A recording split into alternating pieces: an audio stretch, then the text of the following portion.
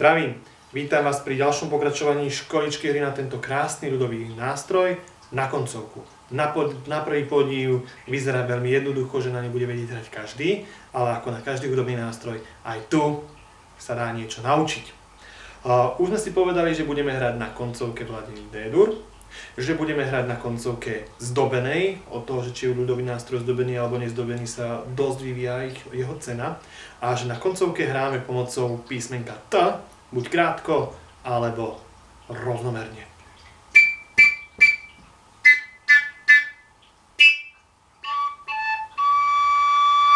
Takisto silou dychu určujeme, či tón bude vyšší alebo nižší. Koncovka pri dychu pozná dokonca až 9 úrovní toho dychu a z toho, keď máme koncovku otvorenú a zatvorenú, 9x2, čiže až 18 tónov koncovka dokáže vylúdiť.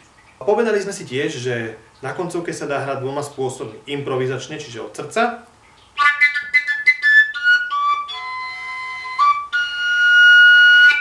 alebo melodicky, čiže konkrétna melódia.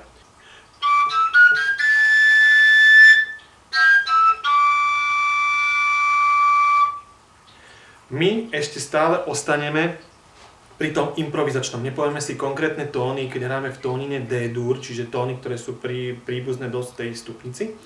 A, ale budeme pokračovať v tom improvizačnom. Už sme si povedali, že tóny môžu byť sekano, plynulo, viazanie, áno, všetko sa dá kombinovať. A také cvičenie na uvedomenie si tých tónov a uvedomenie si troška aj vlastných dispozícií a sluchu slúži, že si vymyslíme nejakú frázu a tu sa pokúsime trikrát zahrať za sebou. Čiže niečo jednoduché na začiatku. Prvýkrát.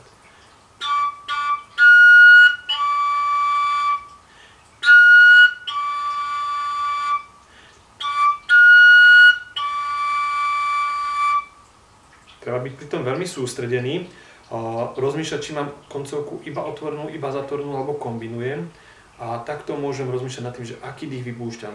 Cvičím to v podstate dovtedy, kým ten posledný, alebo predposledný, alebo úplne ten konečná, tá konečná fráza nebude úplne čistá.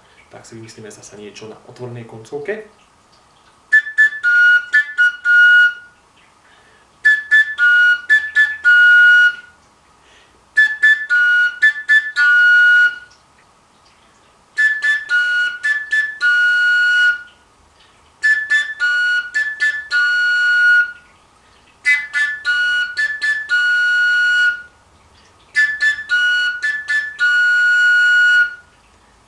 Mali otvorenú koncovku. Teraz skúsime si vymyslieť nejaké cvičenie, tiež kratučké, aby sme si ho sluchovo zapamätali na zatvorenej koncovke.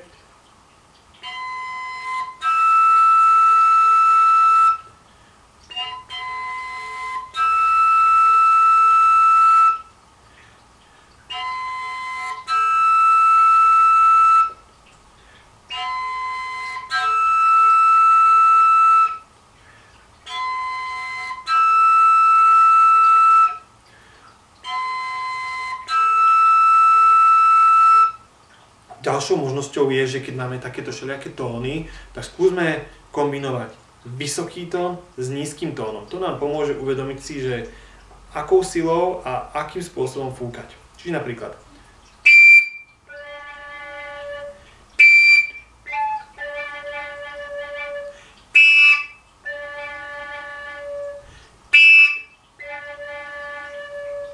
Teraz som dával spôsoby, že vlastne dva tóny v rôznej výške alebo tri, v podstate také plynulé, ale skúsme tie tóny troška aj variovať.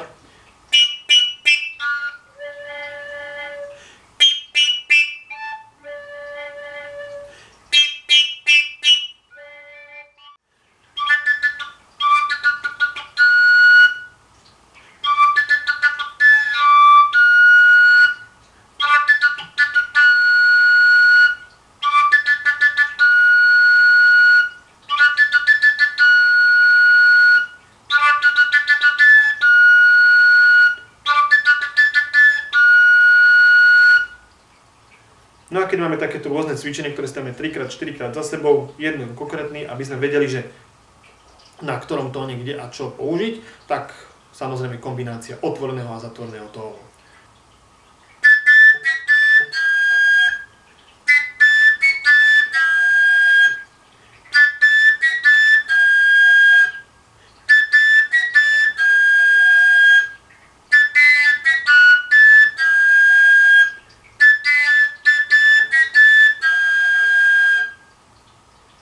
Ono je na tej koncovke krásne, keď hráme rýchlo, ale práve pri tých pomalých tónoch vidíme svoje vlastné nedostatky a to, ak ten tón tvoriť.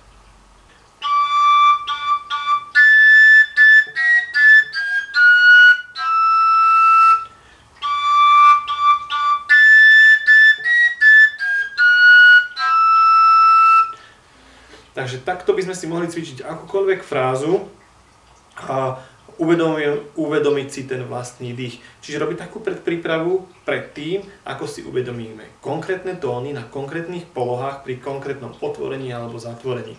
Tak dúfam, že vám tieto cviky nejak pomôžu, že si nájdete priestor, či už byte alebo skúšovni vášho folklórneho súboru, alebo len tak niekde na chalupe, a či už od srdca, alebo s muzikou, alebo pri konkrétnej hudbe zaimprovizovať na koncovku.